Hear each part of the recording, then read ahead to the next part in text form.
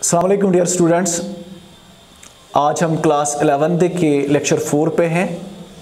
Chapter हमारा जो चल रहा है दैट इज़ इंटरनल ट्रेड तो हमने कहा, थोड़ा सा रिकैप्चुलेट करते हैं इंटरनल ट्रेड हमने कहा, वो ट्रेड जो within the domestic territory of the country हो जाता है, जिसको हम इंटरनल ट्रेड के नाम से जानते हैं, यानी जब buying and selling of goods and service within the country होता है that's not beyond the control beyond the boundaries of the country बल्कि within the boundaries of the country जब ट्रेड होगा बाइंग एंड सेलिंग होगा that's called internal trade अब इस internal trade को बढ़ावा देने के लिए कुछ एसोसिएशन बनाए गए गवर्नमेंट की तरफ़ से, जिनको ये ज़िम्मेदारी दी गई कि आपको इंटर ट्रेड को बढ़ावा देने के लिए, इसमें जो इश्यूज़ है उनको सॉल्व करने के लिए, उनको दूर जो इश्यूज़ है उनको दूर करने के लिए, या to promote the interest of the traders traders को ट्रेडर्स का इंटरेस्ट बचाने के लिए ये दो एसोसिएशन बनाए गए ताकि हम इंटर ट्रेड को बढ़ावा दे सके कंट्री में, ताकि ज़्यादा से ज़्यादा हम यहाँ से आउटपुट निकाल सके।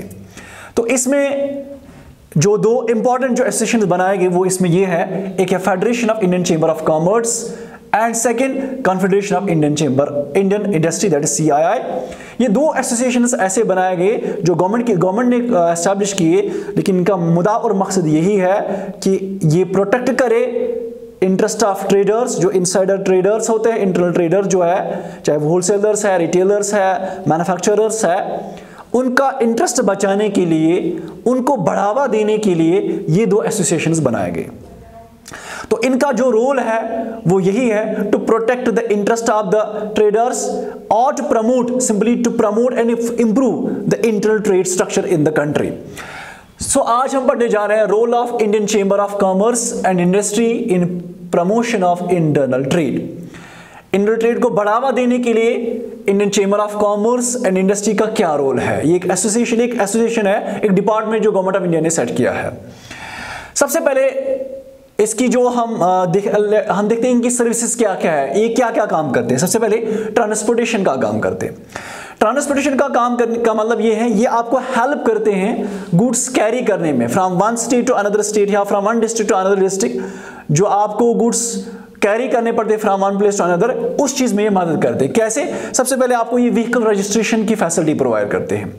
जो किसी फर्म की जो व्हीकल होगी, उसको रजिस्ट्रेशन करने रजिस्ट्रेशन की फैसिलिटी ये प्रोवाइड करते हैं। और इसके साथ साथ ये कंस्ट्रक्शन ऑफ़ हाईवेज कराते हैं। With collaboration with the government government के साथ ये हाईवेज बनाते हाईवेज बनाने में मदद करते हैं ये एसोसिएशंस जैसे इसमें एक एग्जांपल है कॉरिडोर कॉरिडोर बनाया गया है, जो इस वजह से, इस इंडियन चेंबर ऑफ़ कॉमर्स की वजह से बनाया गया जब उन्होंने एनुअल जनरल मीटिंग की है उन्होंने उसमें ये चीज़ बनाया कि, बताया कि हमें हाईवे बनाना ज़रूरी है। तो उस वजह से फिर हाईवे बनाएगी। तो इसके साथ साथ तो यहाँ पे ये दो चीज़ बातें आ गई। एक तो रजिस्ट्रेशन ऑफ़ व्हीकल्स का काम करते हैं, और इसके साथ साथ हाईवेज बनाने में भी ये मदद करते हैं, ताकि गुड स्मूथली ट्रांसफ़र हो सके ट्रांसपोर्ट हो सके from one place to another place second जो लेबर लॉज में उन्होंने बहुत हद तक इजीनेस लाई। गवर्नमेंट का अप्रोच बहुत सख्त है। लेबर लॉज लेबर लॉज के रिलेटेड लेबर लेबर लेबर को बचाने के लिए उनको बहुत स्ट्रिक्ट लॉज बनाए।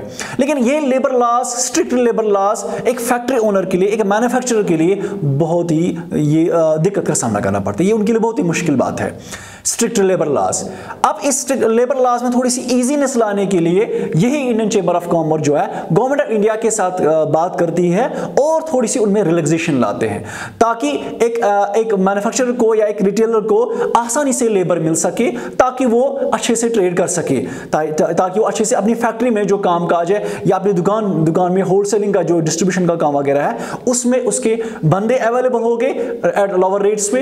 इस चीज़ को निमटने के लिए जो जो हार्डशिप्स फेस करने पड़ते थे अभी इंटरनल ट्रेडर्स को लेबर के हवाले से उन उन लेबर लॉज में थोड़ी सी रिलैक्सेशन लेके आए इसी इन्हीं इंडियन चैम्बर ऑफ़ कॉमर्स की वजह से इस तरह से इन इंटरनल लेबरर्स को आसानी हो गई और इस तरह से अभी आसान अभी इंटरनल ट्रेड करने में आसानी हो गई।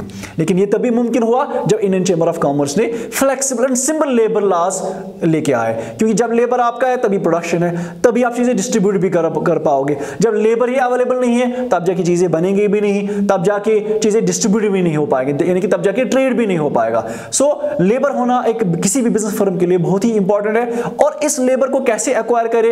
एट लोअर लोअर रेट्स पे या एट लो लेबर लॉज जो स्ट्रिक्ट लेबर लॉज से पहले बनाए गए थे गवर्नमेंट ऑफ़ इंडिया की तरफ़ से उनमें कैसे थोड़ी सी रियायत ला सके? ये सब चीज़ें जो है ये इंडियन चैम्बर ऑफ़ कॉमर्स की वजह से ही आ गए थर्ड एक्साइज ड्यूटी जो ड्यूटी होता है टैक्स ड्यूटी का मतलब ही है टैक्स एक्साइज ड्यूटी होता है जो इम, जो इंपोर्टेड एक्सपोर्ट पे जो टैक्स लगाया जाता है दैट्स कॉल्ड एक्साइज ड्यूटी अब जो ये टैक्स है ना ये एक इंपॉर्टेंट सोर्स ऑफ़ रेवेन्यू बनता है सेंट्रल गवर्नमेंट के लिए जिससे वही पैसा फिर वो कल आ, लोगों की फलाह बहबूदी के लिए खर्च आता है। लेकिन but at the same time जो ये टैक्स इंपोज करते हैं ना जिस मैन्युफैक्चरर को या जिस जिस ट्रेडर को ये टैक्स इंपोज किया जाता है वो उसके लिए बर्डन बन जाता है। वो उसके लिए खर्चा बन जाता है। वही खर्चा या वही बर्डन जो है, वो अल्टीमेटली पास ऑन हो जाता है एक कस्टमर को। सपोज़ अगर एक प्रोडक्ट जो है, दस रुपए में तैयार हो गया है फैक्ट्री में, उसको गवर्नमेंट कहती है कि आपको दो रुपए टैक्स देना है। तो यहाँ पे मैन्युफैक्चर दस रुपए में नहीं भेजेगा, बल्कि वो बारह रुपए चार्ज करेगा एक कस्टमर को। बल्कि उससे ज़्यादा चार्ज करेगा, अपना प्रॉफिट मार्जिन भी ऐड करेगा। तो अल्टीमेटली जो एक्साइज ड्यूटी का जो कोई भी टैक्स जो है, उसका अल्टीमेट बर्डन एक कस्टमर पर ही आ जाता है। विद द रिज़ल्ट जितना एक प्रोडक्ट का कॉस्ट बढ़ता जाए जाएगा, उसको मार्केट में सेल कर पाना मुश्किल हो जाता है। अब इन्हीं टैक्सेशन लॉज में एक्साइज ड्यूटी में रियायत लाने के लिए जो इंडियन चेंबर ऑफ़ कॉमर्स है या जो आ, या जो कॉन्फेडरेशन ऑफ़ इंडियन इंडस्ट्री है ये इन कोलैबोरेशन ये कांटेक्ट करते हैं गवर्नमेंट गवर्नमेंट के साथ और इनमें इन टैक्स में छूट लेके आते हैं। ये बहुत हद तक एक्साइज ड्यूटी में छूट लेके आते हैं जिससे मार्केटर को कल अपना प्रोडक्ट बेच पाना आसान हो जाता है। तो यहाँ पे भी इनका रोल जो है बहुत ही इंपॉर्टेंट ये है कि ये इस तरह से भी मदद करते हैं जो आपको गुड्स पे टैक्स लगाया जाता है गवर्नमेंट की तरफ़ से। उन उन टैक्स में रियायत देने की, दिलाने के लिए आपको जो है जो चैम्बर ऑफ़ कॉमर्स जो है, ये आपको हेल्प करती है इस ट्रेडर के लिए। इसके अलावा साउंड इंफ्रास्ट्रक्चर बनाने में भी आपको मदद करता है। ट्रेड करने की, चाहे आप एक्सपो इंपोर्ट एक्सपोर्ट ट्रेड करते हो फॉरेन ट्रेड करते हो या इंटर ट्रेड करते हो, जब तक आपके पास अच्छी अच्छी सड़कें ना होंगी, जब तक आपका रेलवे सिस्टम अच्छा स्ट्रांग नहीं होगा, तब जाके आप अपना प्रोडक्ट भी या इस तरह जब आपके पास इलेक्ट्रिसिटी की सप्लाई अच्छी खासी अवेलेबल ना होगी, तब जाके आप अपना मैनुफैक्चरिंग यूनिट भी नहीं डाल सकोगे। तब जाके आप गुड्स एक जगह से दूसरी जगह ले जा ले नहीं सकते हो, जब तक आपके पास एक साउंड ट्रांसपोर्टेशन फैसिलिटी ना होगी, अच्छे खासे हाईवेज ना होंगे। तो ये सब चीज़ें बहुत ही ज़रूरी होता है किसी ट्रेड को बढ़ावा देने के लिए। अब ये चीज़ें क्या होती, ये चीज़ें कैसे आ जाती हैं जो इंडियन चेंबर ऑफ़ कॉमर्स है या जो कॉन्फेडरेशन ऑफ़ इंडियन इंडस्ट्री है, ये कोलेबोरेशन के साथ गवर्नमेंट ऑफ़ इंडिया के साथ हैवी इन्वेस्टमेंट प्रोजेक्ट्स को लेते हैं, ये अपना पैसा इन्वेस्ट करके गवर्नमेंट को सपोर्ट करते हैं, वो इंफ्रास्ट्रक्चर फैसिलिटीज़ डेवलप कराने में और इस तरह से आम लोगों को, आम ट्रेडर्स को अच्छी खासी सड़कें मिलती हैं और अच्छे खासे रेलवे रेलवे सिस्टम बन जाता है, जिससे वो एक जगह से दूसरी जगह अच्छे, आसानी से चीज़ें लेके जाते हैं। या या इसके अलावा ये डैम्स बनाने में मदद करते हैं, इलेक्ट्रिसिटी, जिसे इलेक्ट्रिकल प्रोड्यूस करके मैन्युफैक्चर या फैक्ट्री ओनर को, जिसको ज़रूरत पड़ती है, कल वो उस इलेक्ट्रिसिटी का फ़ायदा उठाकर प्रोडक्ट बना सकेगा। तो इस तरह से और एक चीज़ जो है marketing agro products and related issues जो भी एग्रीकल्चर प्रोडक्ट्स है एग्रीकल्चर प्रोडक्ट्स को इस इन्होंने यहाँ तक हेल्प किया कि उनकी प्रोडक्ट की सेलिंग में भी उन्होंने हिस्सा लिया। जो इंडियन चेंबर ऑफ़ कॉमर्स है ना उन्हें यह ज़िम्मेदारी भी ली है कि इन जो एग्रीकल्चर प्रोडक्ट्स है उसको हम मार्केटिंग में भी मदद करेंगे, उनको सेल करने में भी वो बहुत सारे बहुत सारे इकदाम उठाते हैं। इवन जैसे एडवर्टीजमेंट का काम करते हैं वो वेयर हाउसिंग फैसिलिटीज़ वो रखते हैं। वेयर हाउसिंग फैसिलिटीज़ एडवर्टीजमेंट का काम करते हैं, या इसके अलावा ट्रांसपोर्टेशन फैसिलिटी वो रखते हैं federation of chamber of commerce इस तरह से जो एग्रीकल्चरल प्रोड्यूसर्स होते हैं फार्मर्स होते हैं, उनको हेल्प आ जाती है उनको मदद मिलती है इन चेंबर ऑफ़ कॉमर्स की, की बदौलत से और वो अपना प्रोडक्ट आसानी से बेच पाते हैं और उनको अच्छा खासा पैसा वो कमाते हैं। और इस, इस इसके साथ साथ जो भी एग्रीकल्चर प्रोडक्शन में एग्रीकल्चर प्रोडक्ट के साथ जो रिलेटेड इश्यूज़ हैं उन इश्यूज़ को वो सॉल्व भी करते हैं। इन चेंबर ऑफ़ कॉमर्स गवर्नमेंट के साथ गवर्नमेंट के सामने वो बात रखते हैं और गवर्नमेंट उनको उन इश्यूज़ के इश्यूज़ को अजाला भी कराते हैं। रिड्रेसल ऑफ़ ग्रीवेंसेस वो कराते हैं गवर्नमेंट के साथ। और last important that's weights and measures and prevention of duplicate brands और एक इंपॉर्टेंट जो है to protect the interest of the consumers consumers का इंटरेस्ट बचाने के लिए क्या कहते हैं? इन्होंने बहुत सारे लॉज बनाए। ताकि जो कस्टमर है वो किसी भी एंगल से उसको धोखा नहीं मिल नहीं खा, खाना चाहिए। उनने कुछ मेजरिंग वेज मेजरिंग वेज बनाए। सॉरी मेजरिंग क्लास बनाए वेइंग लाज बनाए कि कौन कौन सा चीज़ आप कैसे तोल सकते हो उसके लिए कौ, कौन सा इक्विपमेंट आप इस्तेमाल कर सकते हो तोलने के लिए।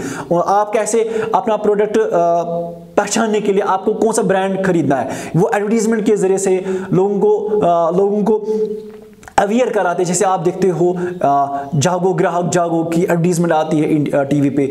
उसका वजह क्या होता है? उसको किस, को, कौन देता है? वो इंडियन चेंबर ऑफ़ कॉमर्स ही देता है, ताकि लोग अवेयर हो सके, उनको, आम लोगों, आम लोग अवेयर हो सके। जो भी माल प्रैक्टिस जो ट्रेडर्स अपनाते हैं, अपनी सेल्स को बढ़ाने के लिए, मुनाफा कमाने के लिए, जो भी वो फॉल्स एडवर्टीजमेंट का काम करते उन सब चीज़ों से बचने के लिए इंडियन चेंबर ऑफ़ कॉमर्स जो है, इन्हें ये भी ज़िम्मेदारी उठाई कि हम कैसे आम लोगों को, आम कस्टमर्स को भी बचा सके। और इसके साथ साथ जो इंडल ट्रेडर्स है, उनका ब्रांड नेम प्रोटेक्ट करने के लिए उन्होंने लाज बनाए ताकि बाकी दूसरी फर्म जो है, उस ब्रांड ब्रांड नेम को कॉपी ना कर पाए और अपना, वो जो फर्म है, अपना ब्रांड नेम बरकरार रख पाए। इस तरह से इनका रोल जो है, बहुत ही इंपॉर्टेंट है to improve the to improve and to increase the role of inter trade ये जो इंडियन चैम्बर ऑफ़ कॉमर्स है, ये जो फेडरेशन है, इनका बहुत ही अच्छा खासा रोल है।